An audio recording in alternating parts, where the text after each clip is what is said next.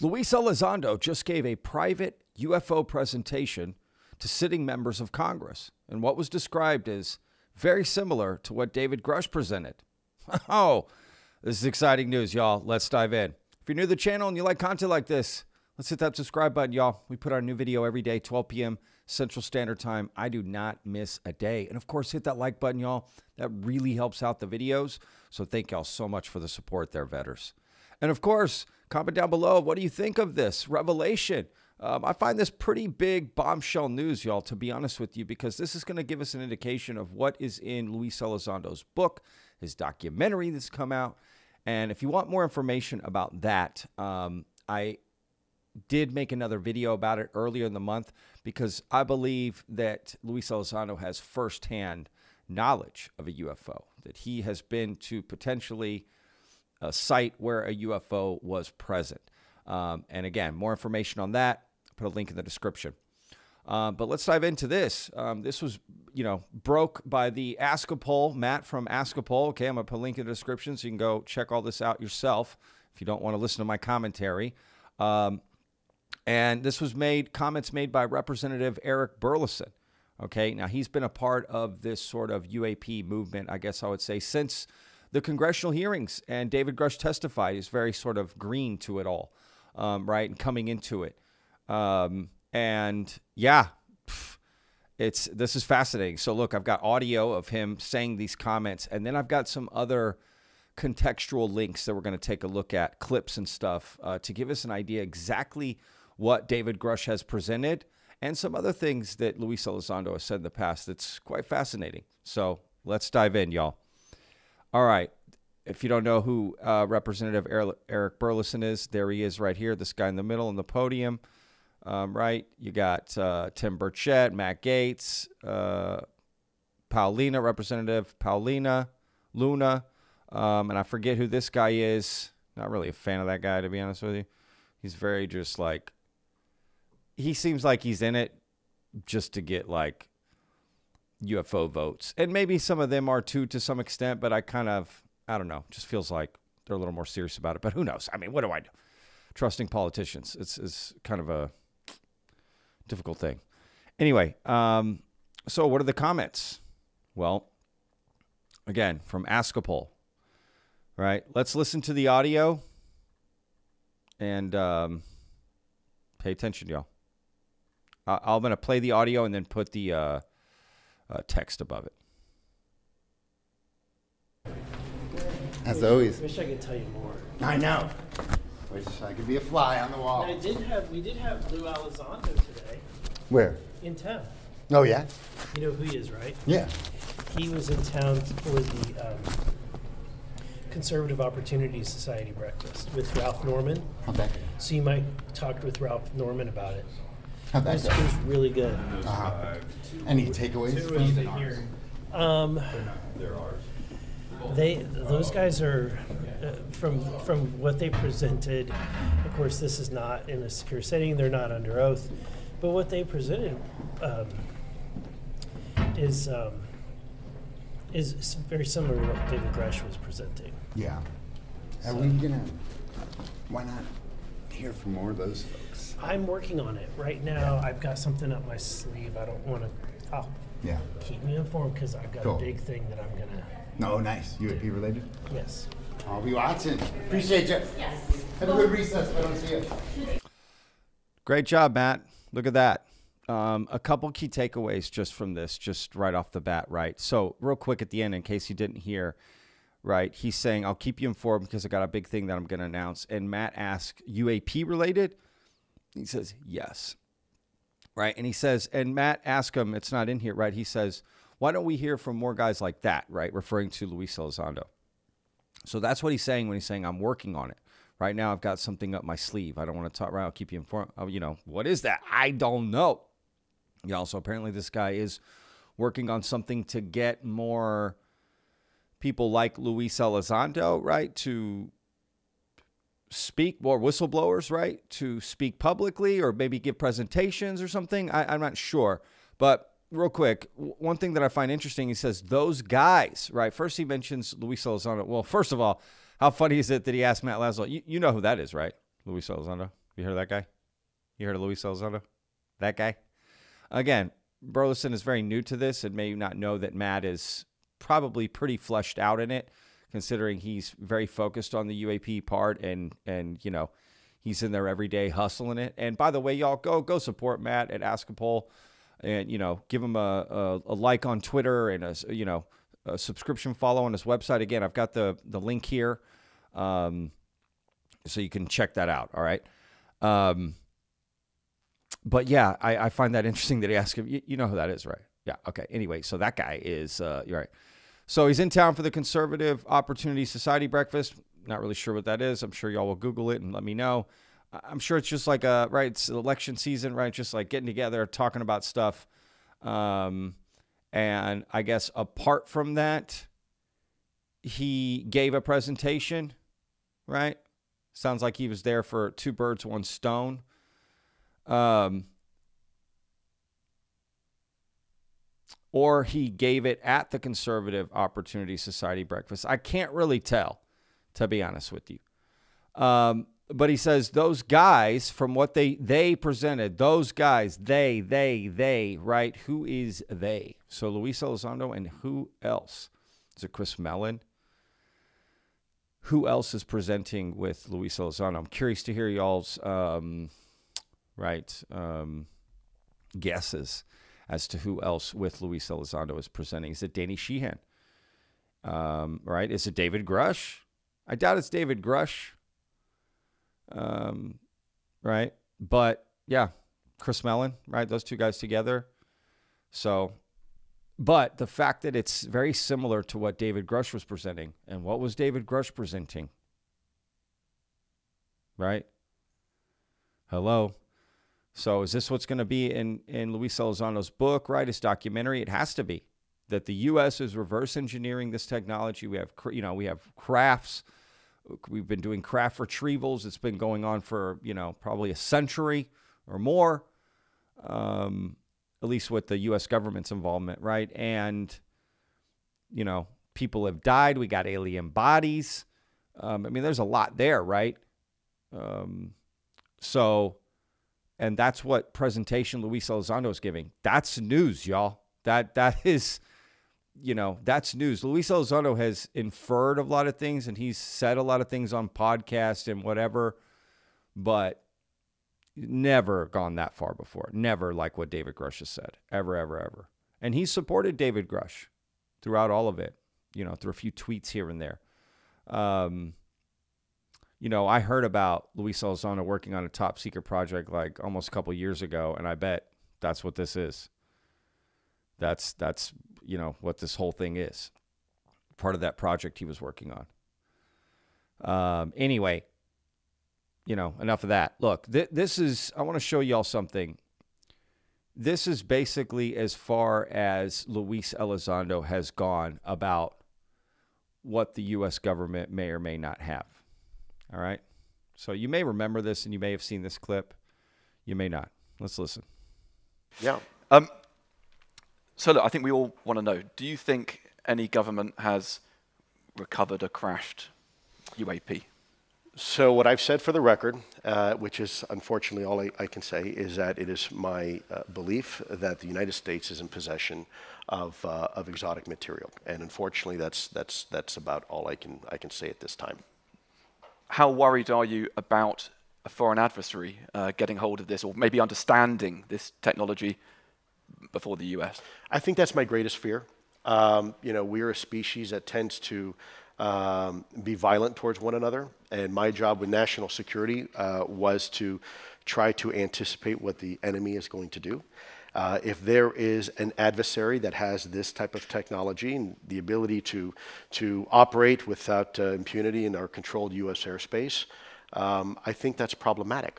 Um, we spend millions of dollars ensuring we have what we call air domain awareness and control of our airspace. And uh, clearly, um, we don't have as much control as we, we think we do. So that little image of the little gimbal here, they put it up early. You could tell, right? Because it's the same. Anyway, that wasn't me. So, um, yeah, right. Exotic material, right? Exotic origin. Um, that's interesting. Just saying, that's really as far as he's gone, right? And now you got, again, Representative Burlison saying that he's giving a presentation very similar to David Grusch. And again, you know, we pretty much know what David Grusch has presented, right? Well, look, I made a video like for New Year's, sort of like as a New Year's video. Um, it was just a David Grusch compilation from just this past year of all the different, you know, many of the, most of the appearances he's had. Um, and it just kind of sums up a lot of the things that he said and the claims he's made and, and even some of the pushback he's gotten and whatever, right? Just, just the conversation around David Grusch. So if we're going to try to understand what Luis Elizondo has presented, right, and they're saying it's similar to David Grusch, well, we're going to watch this video I made and, um, that'll give you an idea, right, to refresh our memories more or less um, about this. Again, I'll put a link in the description if you want to watch it, uh, you know, full screen in HD. Uh, but let's jump in here.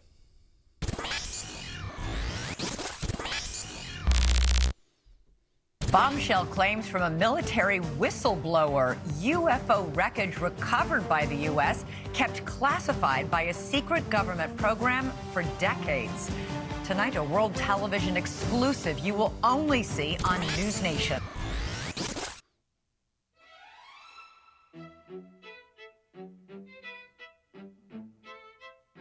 Mr. Chairman, uh, ranking members and congressmen, uh, thank you. I'm happy to be here. This is an important issue, and I'm grateful for your time.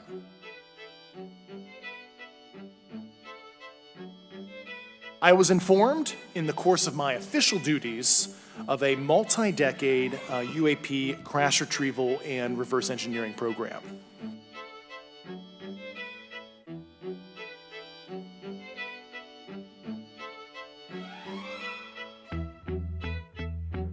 If you believe we have crashed craft, uh, stated earlier, do we have the bodies of the pilots who piloted this craft? As I've stated publicly already in my News Nation interview, uh, biologics came with some of these recoveries. Yeah.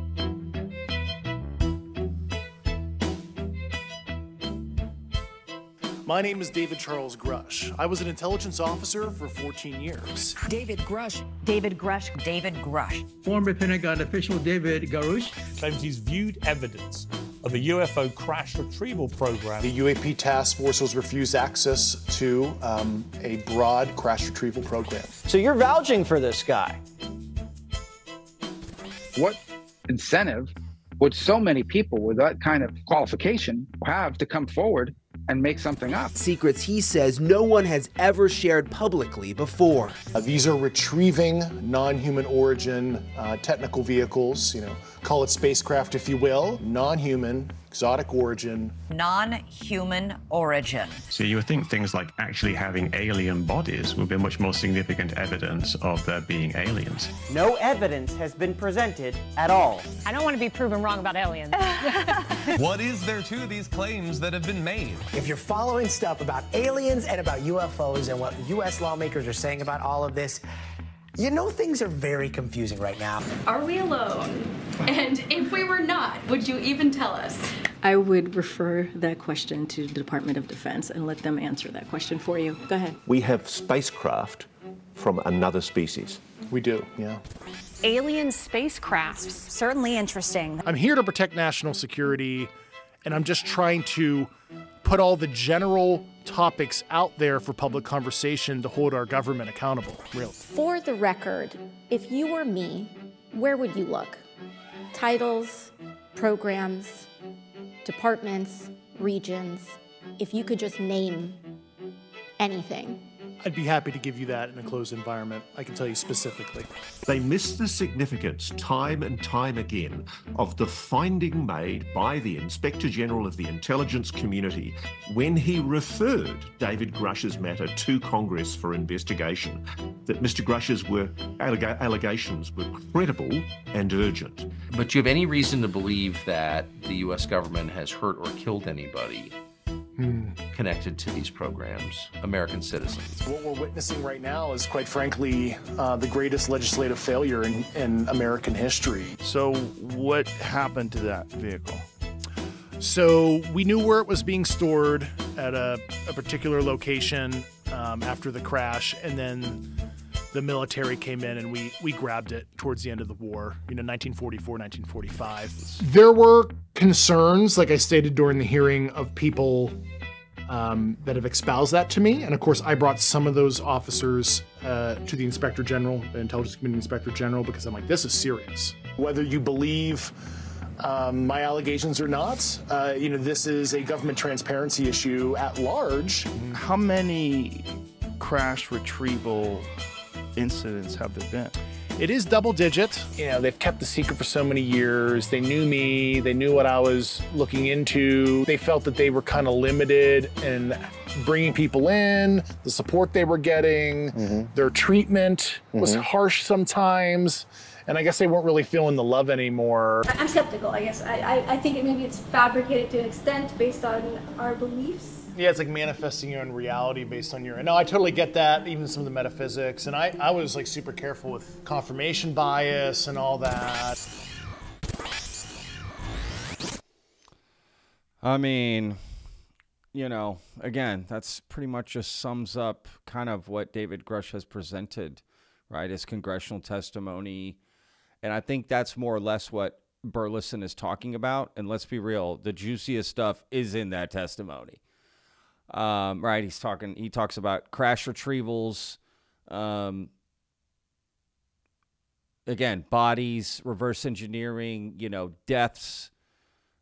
Um, you know, of American citizens. I mean, just all of it. Right, and again, he even had like the places and all of his witnesses, and he gave. He wanted to give that right to Congress, and I wonder if Luis Elizondo has the same like case file, if you will, right? Like think of it. Remember, David Grusch did an investigation, right, for the UAP task force that he was a part of um, before AARO, right? And that's what led him to this, his testimony, right? I mean, that was basically like a police officer testing about his case that he investigated, and he's presenting it. You know, that that's that's basically it. What David Grusch is doing right there, right? Um, but like is if Luis Elizondo is presenting pretty much the same thing David Grusch is presenting, it's safe to assume that he has the same evidence, the same witnesses, right? The same case file, if you will, to present. Otherwise, what would Luis Elizondo be basing his case file off of? And how much of David Grusch's case file is built from maybe something Luis Elizondo was building and David Grusch sort of came in, or did they work together on it? Did they work separately and come to the same conclusion? I don't know. That's also possible, right? These are all these things are possible. Um, just curious. It's interesting, but it is bombshell news that that's what Luis Elizondo is presenting, and it sounds like it's the first time. So he's you know kind of getting ready for March, right when supposedly his book is going to be coming out, and this new documentary that he's got. Um, and again, go check out the link I made or I have in the description of the video I made where it's, you know, it's inferred that Luis Elizondo has firsthand knowledge, basically, right? Um, which is, again, bombshell news, right? Like, this is crazy. It's getting crazier. This year is going to be crazy, y'all. I don't care what people say. I'm not saying it will move the needle any or anything's to I don't know about that. I can't tell you the the effect, but there will be a lot of cause, right? Meaning we just have a lot of stuff that's scheduled to come out this year and it sounds like it's on its way. The one thing that I think most people are disappointed about is David Grusch's op-ed, which I totally understand. But look, February's not over. Um but again, you've got Luis Elizondo's book and documentary, and he's been silent for a long time, y'all.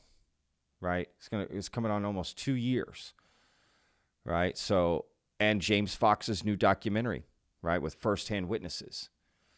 That that to me is a lot coming in one year, right? And you got people like Danny Sheehan who are saying 40 more whistleblowers are going to be coming out this year.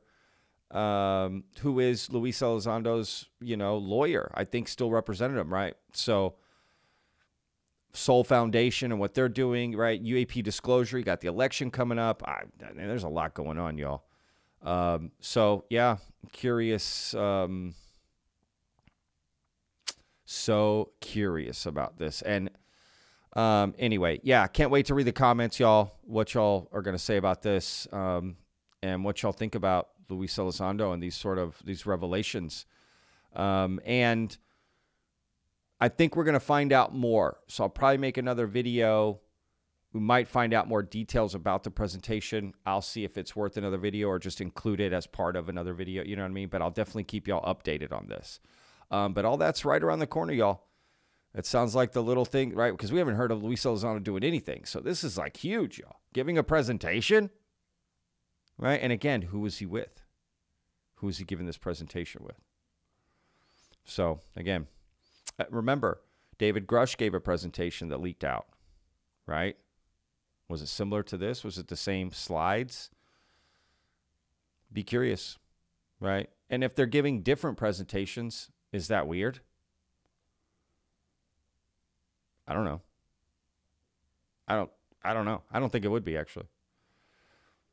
But you would think they would communicate in some way or, or form, right?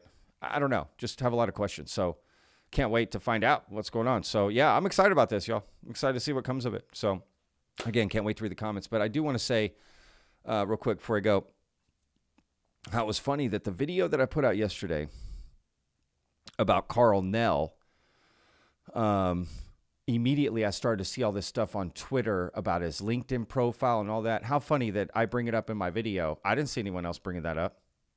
Again, everyone was telling me that's old news. That's from months ago. I just found it odd. All these people on Twitter were all of a sudden like, I think more people watch Vetted than I than I know. So whoever's watching, hello.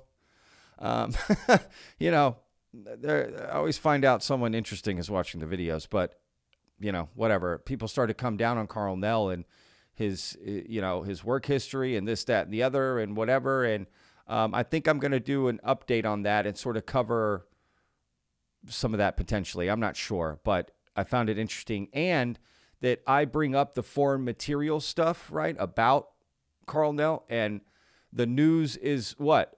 About foreign material and space, right? And Turner. And, um, you know, we may have nuclear, Russia may have nuclear arms in space, right? Like the Cuban Missile Crisis, but up in space right?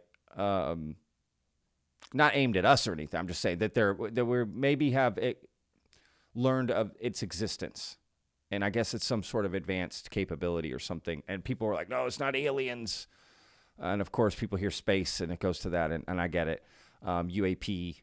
Uh, but anyway, they were bringing up foreign material program. I was like, "Wait, what? What are the odds of that?" Um, I don't know, man. I swear, sometimes there's just some odd coincidences in life, man. I tell y'all what, it, it's it's it's interesting how it works. Um, that is for certain. So, yeah, I enjoyed making this video, to be honest with you, and thank y'all for all the reception from yesterday's video. Uh, by the way, uh, people seem to really enjoy it. So, you know, uh, thank y'all very much. Again, I couldn't do this without y'all. Just want y'all to know that. Um, I respect y'all's time that y'all, you know, are willing to give me. Make no mistake, I take that very seriously. I take what I do very seriously for y'all and making these videos. It means a lot to me. I'm very grateful for it and for the opportunity, right, to present to y'all.